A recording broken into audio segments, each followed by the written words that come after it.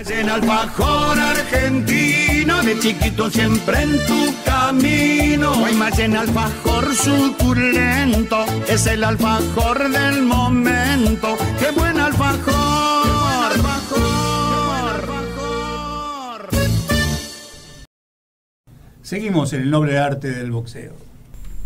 Gracias Roberto Petacci, ausente pero presente, el querido gordo. Bueno, eh, vamos a la segunda parte del noble arte del boxeo. Creo que nos vamos a quedar de aquí hasta el final, hasta la cero, eh, porque vamos a evocar una efemérides. Yo realmente no me acuerdo lo que comí este mediodía, no recuerdo quizá qué pelea vi en la semana pasada, pero sí me acuerdo que hace 32 años estaba muy feliz, estaba muy contento porque veía por televisión eh, una consagración espectacular de este hombre que está con nosotros enganchado del otro lado de la niña, en Coronel en provincia de Buenos Aires. Vos, Juan Martín Látigo Colli, ¿te acordás lo que estabas haciendo hace 32 años exactamente? ¿Qué tal? Creo, antes que nada, buenas noches. ¿Cómo te va, Marcelito? Creo que a esta hora eh, estaba subiendo al ring para pelear con Patricio Oliva por el sueño de mi vida que era el título mundial. Ajá. ¿Te acuerdas? una pelea más, o, menos, ¿no? Una pelea... Sí, una pelea que fue encontrada, porque en esa época el bueno peleaba con el bueno. No, yo estaba número uno del ranking argentino, Pajarito estaba número, era el campeón y cuando yo lo desafié, ya tenía la pelea firmada por el título mundial, Lecture me lo pone a Rossi, me, me gana, me saca el invicto, peleo con Ramón Jara, creo que 25 o 30 días después de haber perdido con Rossi, le gano por nocaut y a los 5 meses estaba peleando por el título mundial. Fue algo, algo, no sé, marcado por la varita de Dios, algo así, ¿no? Porque no, no, no podés eh, pensar como que fue fabricado porque fue algo que no, no esperaba encontrar tan pronto. Bueno, pero le ganaste al número uno, a Pajarito Hernández, al campeón argentino y número uno del mundo. Antes le ganaste a un invicto, Ramón Jara, que venía con toda la maquinaria de Carlos Monzón eh, en, su esquina. Eh, y... y vos sabés que cuando Carlos hace la pelea, porque la desafía él, la pelea, tengo la afirmación por ahí, la desafía él, sacaría, se hacía el que no la quería, que lo que estábamos buscando era una pelea para volver a estar número uno y desafiar otra vez.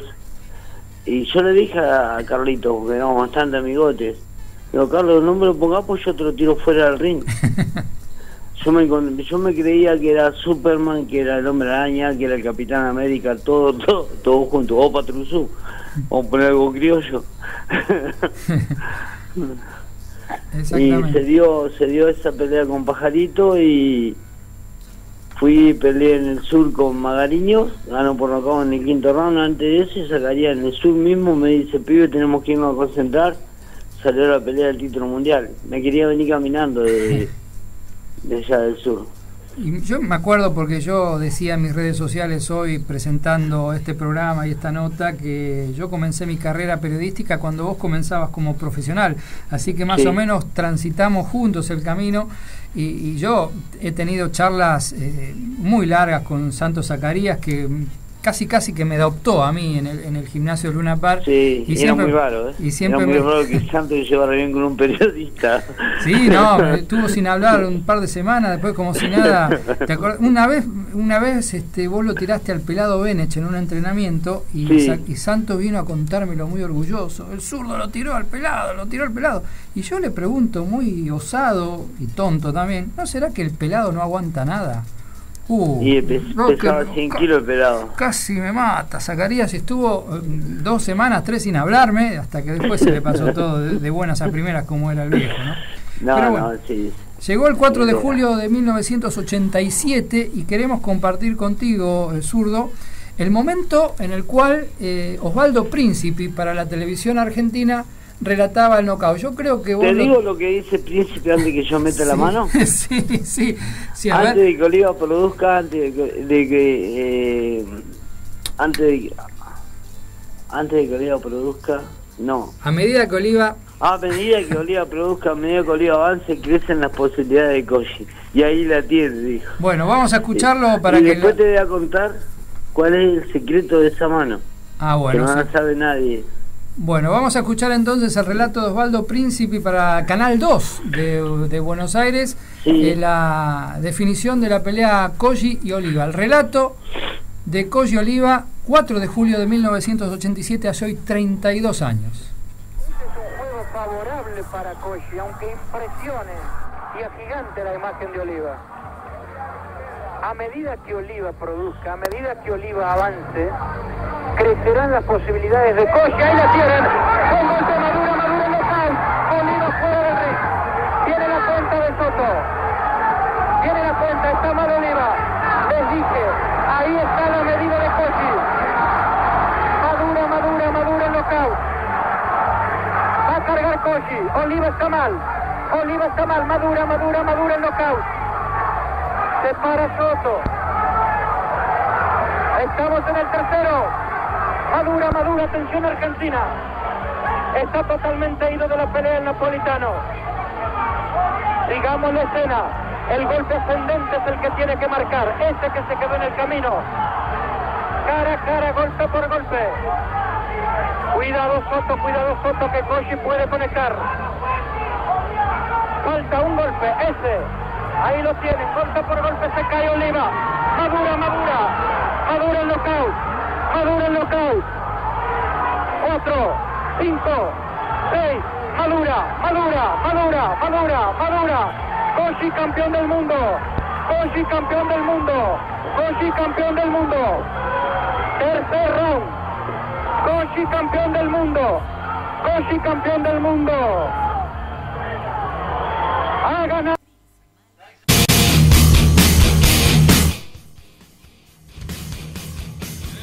Mundo un 4 de julio de 1987. Bueno, ¿nos contás el secreto de esa mano?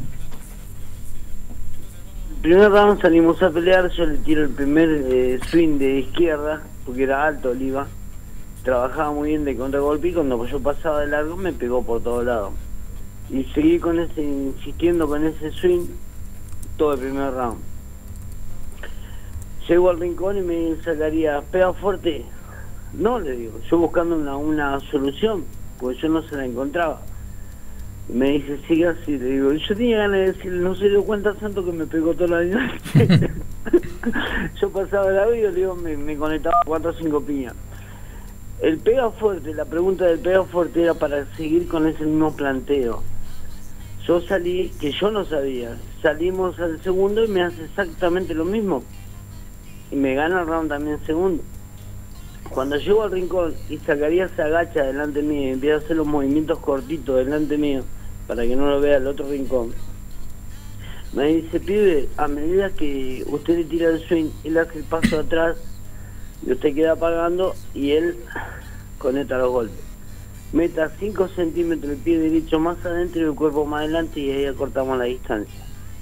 Y eso fue lo que hice. Hice la magia primero y vi que era lo que decía Santos y entonces hice lo que él me dijo. Y ahí estaba el resultado.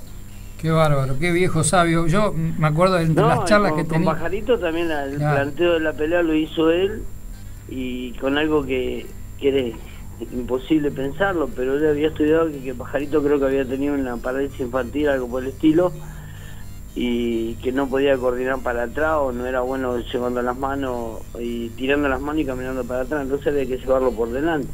Para que, Pero la gente, para que la gente joven tenga dimensión de quién era Patricio Oliva, les cuento que Patricio Oliva estaba invicto nada menos que en 48 peleas como profesional, era el campeón mundial Vuelta Junior de la MB que había destronado a Obisaco, y aparte era invicto como amateur y campeón olímpico en Moscú 1980.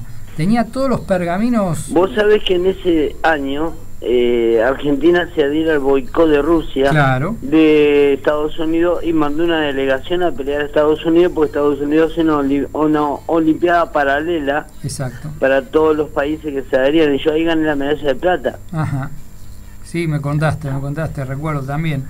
Este, y Oliva ganó el oro olímpico en Moscú. El oro olímpico en Moscú. Y luego fue Era invicto y campeón mundial en todo lo que se había propuesto. Era campeón mundial amateur, campeón olímpico amateur por supuesto, campeón mundial profesional, invicto en 48, peleaba de local y vino este paisano de, de Bransen y, y- y lo puso fuera de combate. ¿Vos Como sabés? me- dijo un amigo, como me dijo un amigo, con la bota llena de bosta.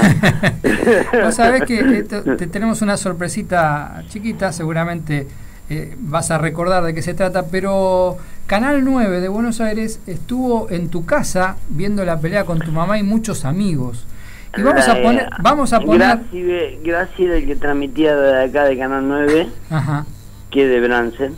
Vamos a escuchar ese, ese pedacito de cómo se vivía en Bransen la euforia de Koji campeón. A ver, lo ponemos.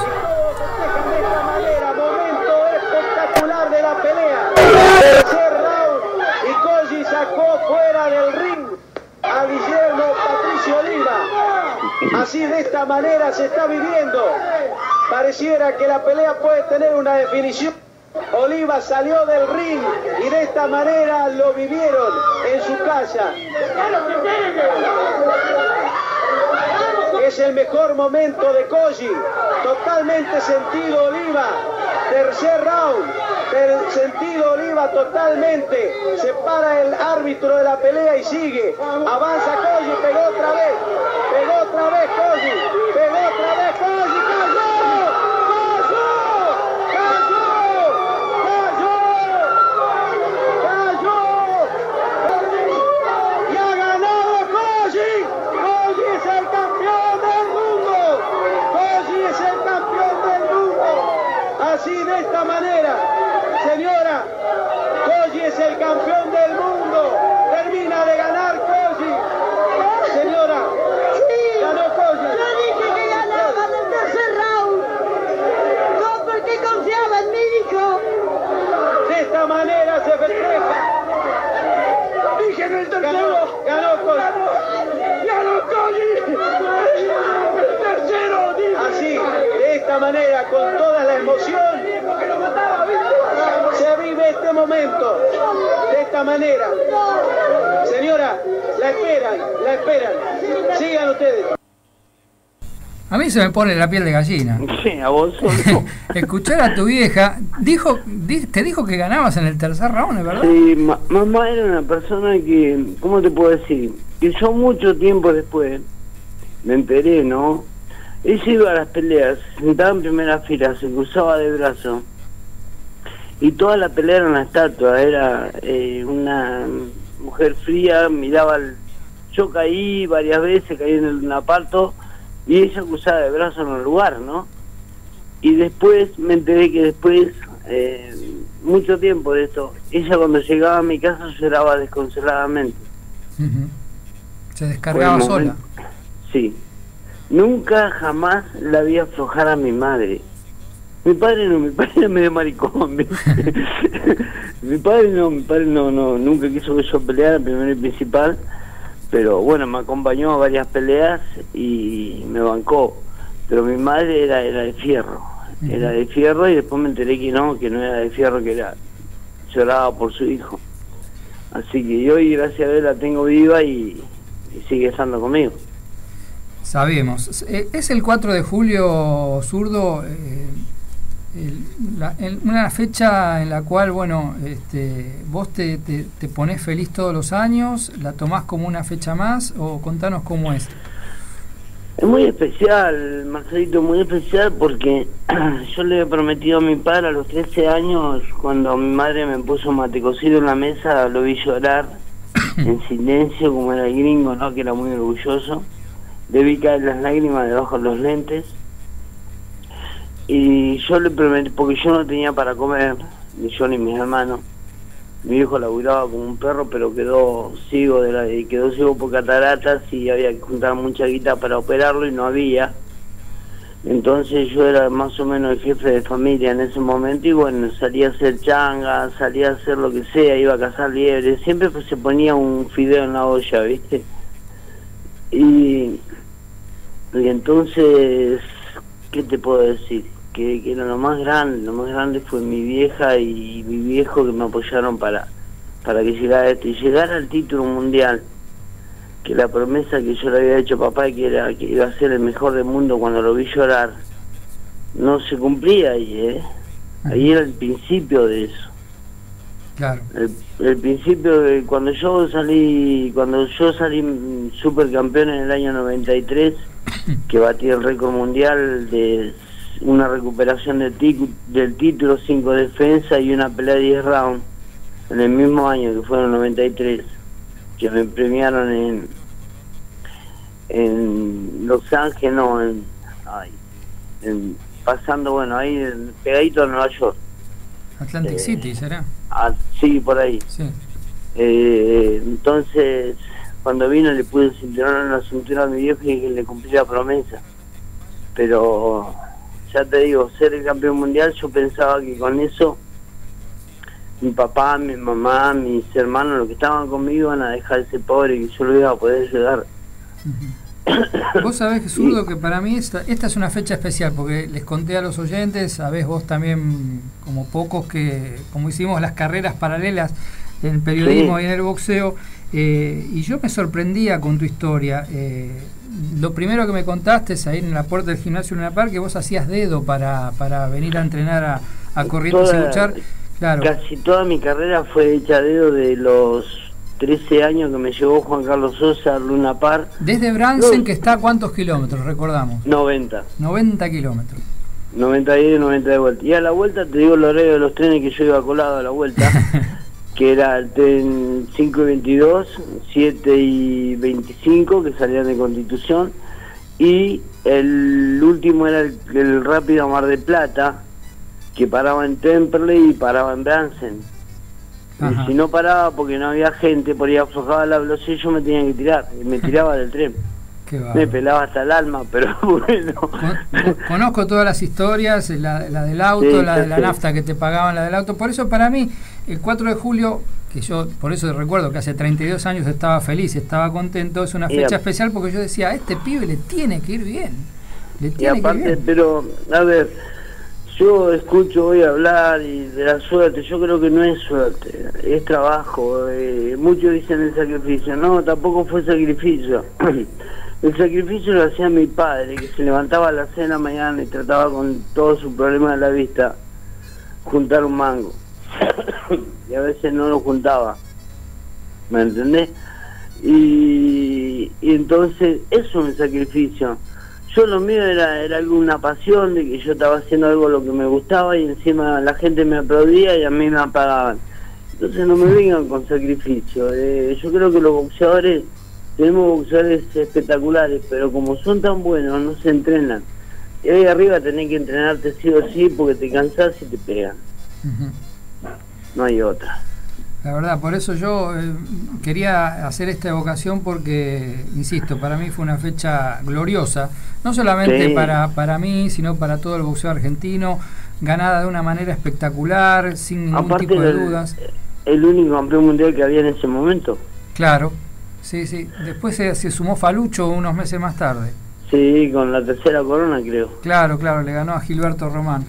Así que bueno, eh, queríamos vivir con vos, zurdo, este momento y bueno, dejar estos últimos minutos del noble arte del boxeo para que nos cuentes qué estás haciendo en este momento, qué, es- qué es de tu vida, qué, cómo estás llevando eh, la vida. Mira, yo me retiré en el 99, 99, este- Ujú. ¿no? Dije, listo, me voy a casar, me voy a pescar, voy a hacer lo que me gusta, voy a hacer las cosas que quiero hacer. El beso Se en el ring de Italia luego de perder con Pichirilo. Sí, cuando me di cuenta que le tiró una piña y él no estaba, y cuando me tiró la piña, moví la cabeza, me había pegado, dije, estoy viejo. Claro. El boxeo te avisa, eso es lo bueno que tiene el boxeo, te dice andate porque te saco. Y si no me hubiese ido, me hubiese tirado a la tribuna en alguna otra pelea. Porque hubo, yo ya con Pichirilo me di cuenta que no. Creo que en mi época no me hubiese ganado él, me hubiese corrido por todos lados. No tengo Porque no, se, no sentí los golpes de él en ningún momento, pero no lo podía agarrar. Es muy veloz, mucho más veloz que yo.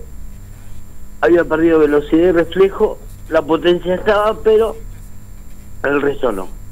Y entonces dije, bueno, me voy, no voy a quemar mi historia, no voy a quemar mi vida.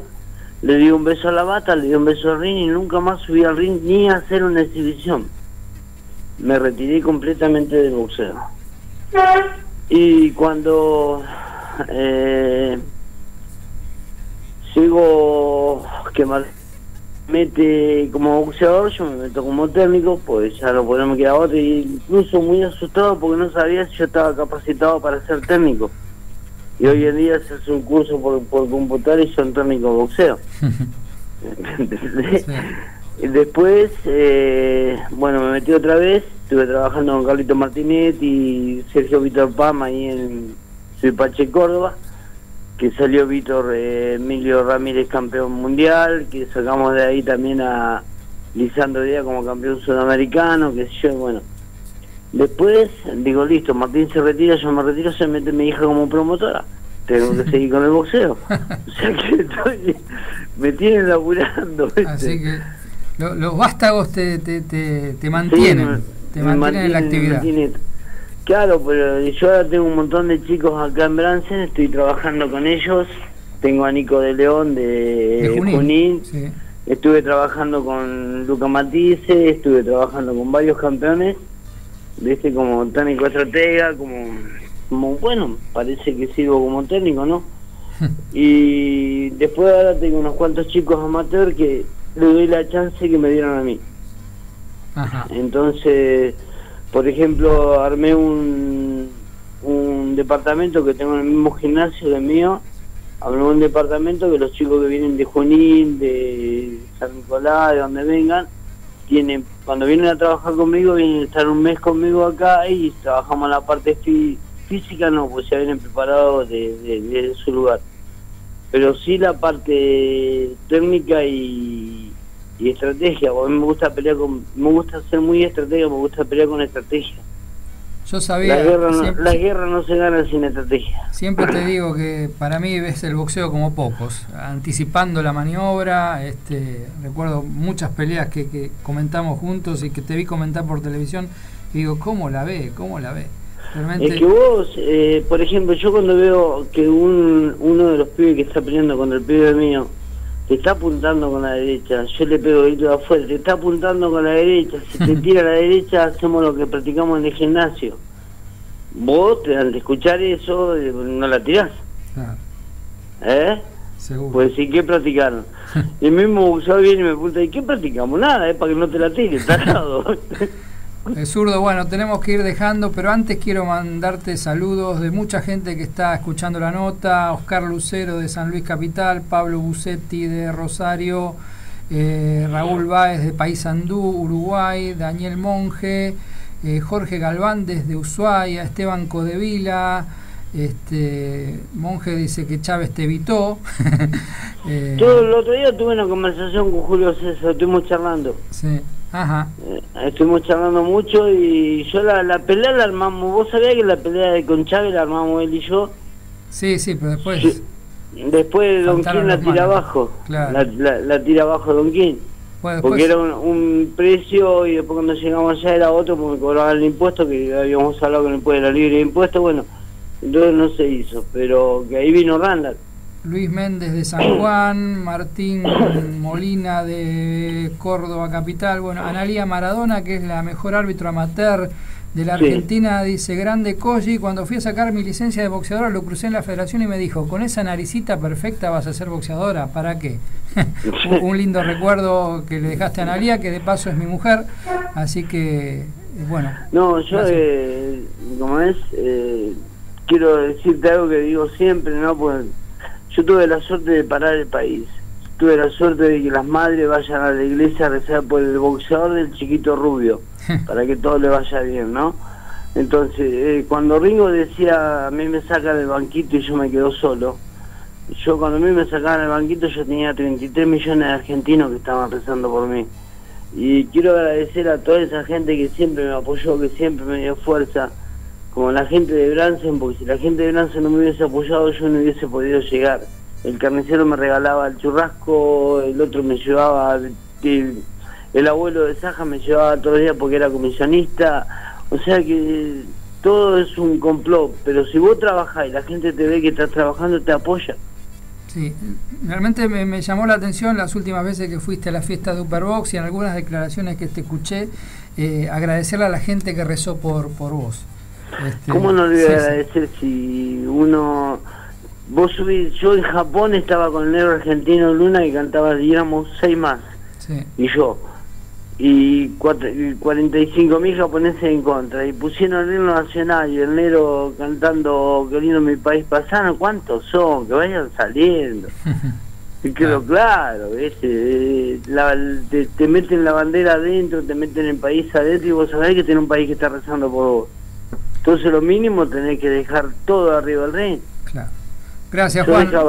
Nos no, pasamos, gracias a vos, nos pasamos Marcelito. tres minutitos, pero Bueno. valió la pena, no, no pasa nada acá con la radio, pero lo que quiero comprometerte, zurdo, es a seguir charlando, queremos hablar mucho de, de- de la actualidad del boxeo argentino desde tu óptica, hoy Mirá, nos dedicamos a- al, Yo me al 4 gustaría, de julio. me gustaría tener un debate con mucha, con mucha de esta gente que está metida bien en el boxeo.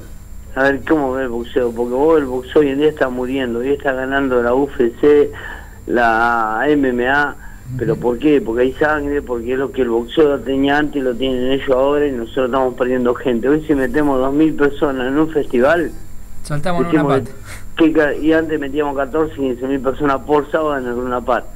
Pero las peleas eran peleas, el espectáculo es espectáculo. Si yo pago para ver un espectáculo, que me lo- no que venga un referí porque tiene presión a la sangre, como me pasó a mí hace poco con un chico, una, una, una, una referí, me saca el chico de la pelea porque le sangraba la nariz. Mm. ¿Cómo es eso?